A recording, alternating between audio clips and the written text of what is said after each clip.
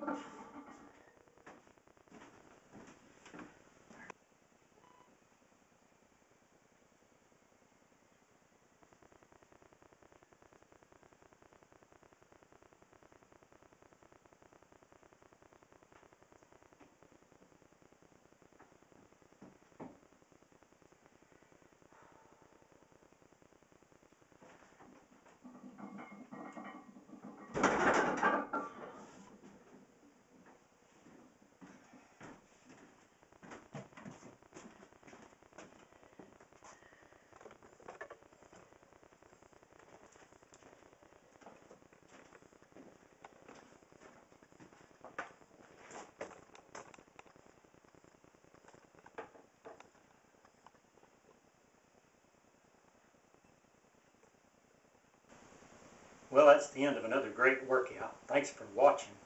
If you like my video, thumbs up my video. And get off your butt and do something. You'll feel better.